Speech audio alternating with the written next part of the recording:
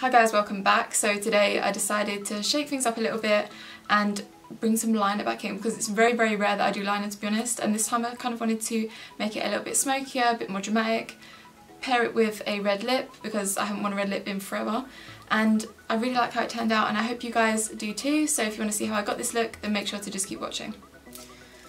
Alright, alright, alright. I'm so tired. So I haven't even prepped my skin yet. So I think instead of my usual Elemis moisturiser, I might try a bit of oil. This is the Rose Oil blend from Pixi. I'm just going to take like a really, really tiny amount because my skin's quite oily anyway, but I've seen quite a lot of people use oil underneath their foundation uh, because it just hydrates the skin so well. It looks so nice underneath. And if you have dry skin, this would be a really, really good idea. And then I'm going to take my two usual primers, which I use basically every week. So it's just the Wonder Glow from Charlotte Tilbury and then the Porefessional from Benefit.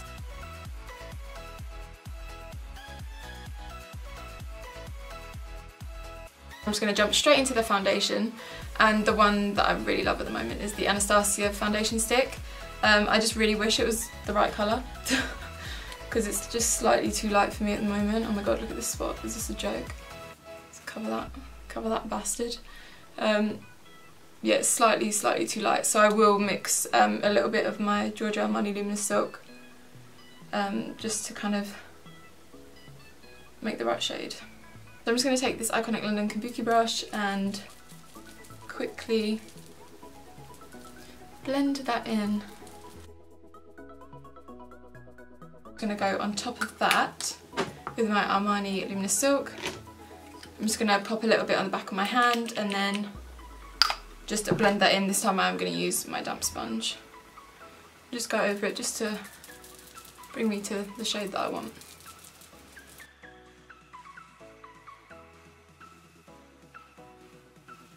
Alright, now that that's done, I'm going to quickly put a bit of concealer on my lids, just to act as like primer. Just because I have like a couple veins and stuff that poke through and I would rather not. And like you can use a proper like eyeshadow base but I just get on better with concealer. Just going to pop some translucent powder just to set that. I think I'm actually going to dip back into my Anastasia Subculture palette because I haven't used it in a little while. First I'm going to go in with the shade Dawn which is just the kind of generic transition shade. It's pretty nude. Oh my god, I have a stop. And I'm just going to run that into the crease. As per usual, nothing special about this. Just provides like a nice base.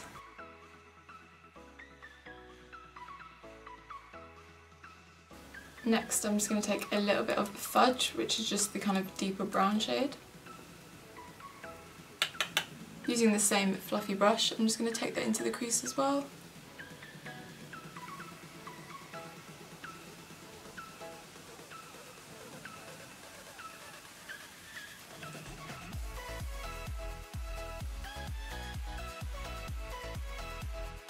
I'm just going to wet my brush quickly with a bit of Fix Plus. I'm going to take this, which is the Adorn shade, and it's a really nice bronzy, goldy, yummy shade.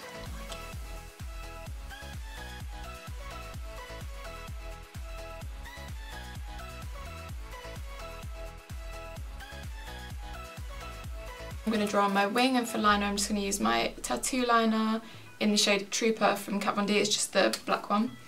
And this is honestly amazing. If you struggle with wings at all, this is actually really, really easy to use because the point, it's like a pen, but it's really, really fine and you can get a nice little flick at the end. Now I haven't done liner in a while, so I might take my sweet time with this, so just bear with. Thank you, thank you so much.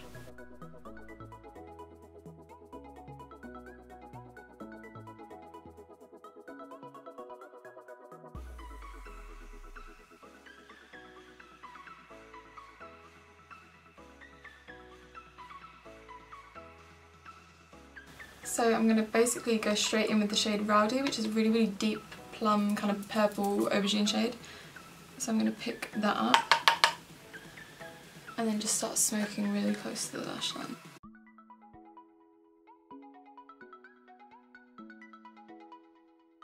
Also just going to pick up a little fluffy brush and in between I'm just going to keep blending it out.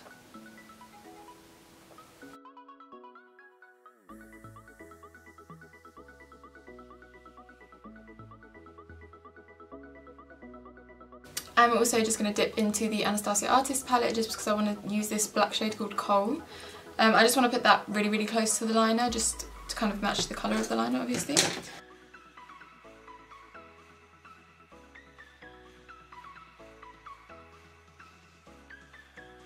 Where I've been blending so much, it's kind of come underneath the wing so I'm just going to take a bit more concealer in the same brush and just clean it up.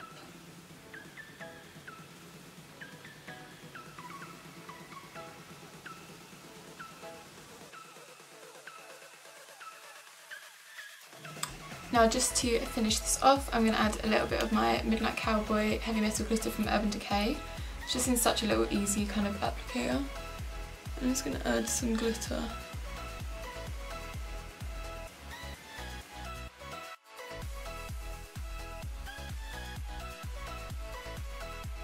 So now, I'm just going to go ahead and pop on some lashes. I'm first going to curl my lashes, put a bit of mascara on. Oh my god, you guys. Have you tried the Big Shot mascara from Maybelline? It's the best mascara I've ever tried in my life and it's drugstore and really affordable. It's honestly the best. I don't know what it is, whether it's the brush or the formula or just the combination of both, but it makes your lashes look so, so long and it doesn't make them clumpy and like the brush just kind of separates them all and like all your la uh, lashes and it just looks oh, so good. So I'm just going to pop a little bit of this on and then I'm going to go in with these little beauties here. These are the House of Lashes Iconic Lites. I absolutely adore the Iconics but these are basically just the lighter version of them and they're super long and wispy and oh, I'm really excited. Plus most of the drama is kind of from the outer corner of the eye and that's obviously what I've got going on with the eyeshadow so I feel like it'll match quite well. So I'm going to do that and I'll be right back. What am I going to do now? So I'm going to finish off the rest of my eyes later. For now, I'm just going to take my Mink foundation stick from Anastasia. This is the shade that I use to cream contour.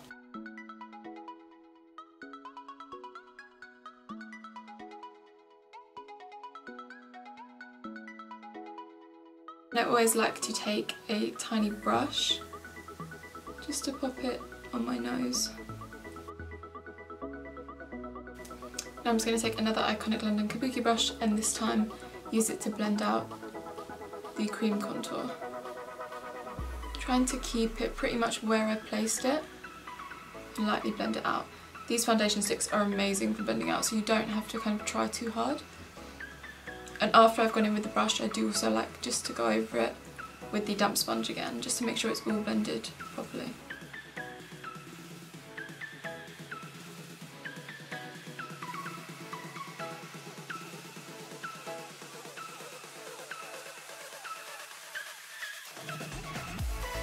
Now to conceal, I'm just going to take my Maybelline Fit Me Concealer, which is much loved. That's why everything has kind of come off the tube. But I'm just going to take this in a kind of triangle shape underneath the eye.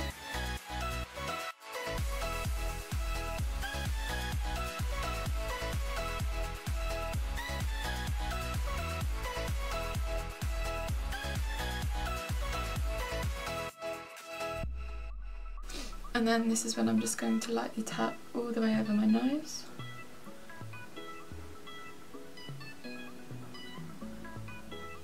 Now as always, obviously I'm just going to set all of that using my RCMA No Colour Powder. I've just bought a new one which is why it's nice and full now. I'm just going to take that underneath my eyes.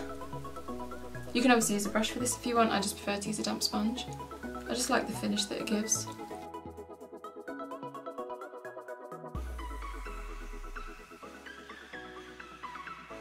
As for the rest of my face, I'm just going to go in with my Maybelline Fit Me foundation powder. I'm just going to take a big fluffy brush and just basically set everything else. Perfect. So while I wait for all of that to bake, I think I'm just going to finish off my under eyes and I'm going to go back into my Anastasia Subculture palette. Taking the shade um, Rowdy, I'm just going to take a super thin angled brush if I can find one. I'll just use my Zoeva one. And I'm going to run that as close to the lower lashes as I can. Ooh, this is pigmented. Then I'm going to take a fluffy pencil brush and I think I'm going to pick up just a little bit of Dawn, which is the transition shade. And then I'm just going to blend away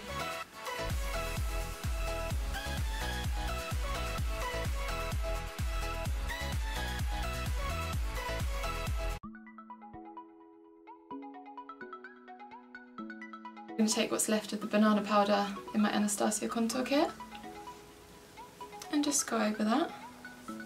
To bronze up my face, I'm going to take my Too Faced Milk Chocolate Soleil Bronzer. Surprise, surprise, I know, I never use it. And I'm just going to bronze up and contour.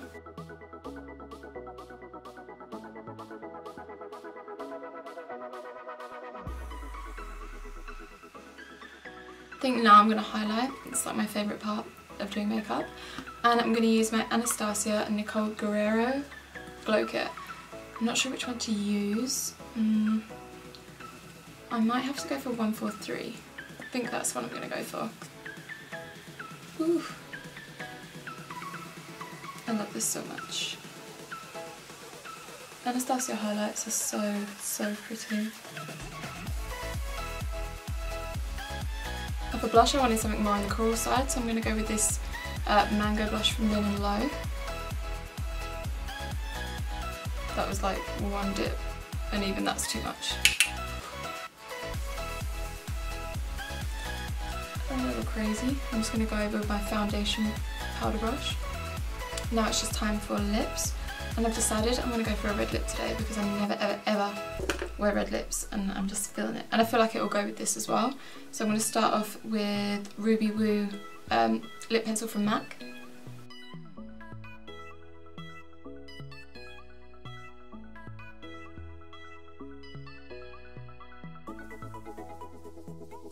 Alright, so I'm basically done now. All I've got to do is finish off with a bit of Fix Plus. So this is the final look you guys. I really hope that you enjoyed this one. Tried something a little bit different, getting the bold lips out for fall and all that. But what I'm really excited for is all of the Halloween looks that I'm going to be doing in October. Oh my god, I just got like an order through of all the stuff for the kind of looks that I'm going to do. So if you want to see those, then make sure to hit that subscribe button so that you can keep up with me and all my videos. And I really hope to see you guys in the next one. Bye!